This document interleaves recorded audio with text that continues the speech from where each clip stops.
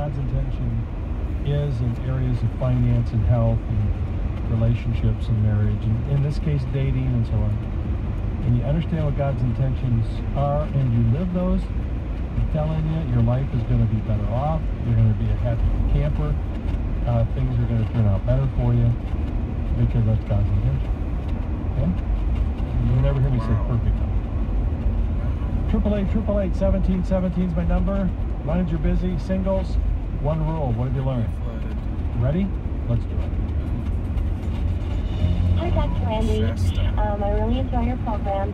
I've been dating a guy for about eight months now, and I kind of feel like I'm carrying all the weight in the relationship. I feel like I'm the giver, and he's kind of the taker. Um, I pay for a lot of our dates. I end up picking him up a lot of times. And it's not that I really mind because I care about him, but I'm beginning to resent it and feel like maybe he doesn't care enough about me to pursue me or, you know, spend money on me, court me. Um, he's not a believer, so I've also been kind of dealing with that. But I don't know exactly what to do. I don't know if I should just cut off the relationship. I don't know if I should talk to him and kind of let him know how I'm feeling. I'm really confused.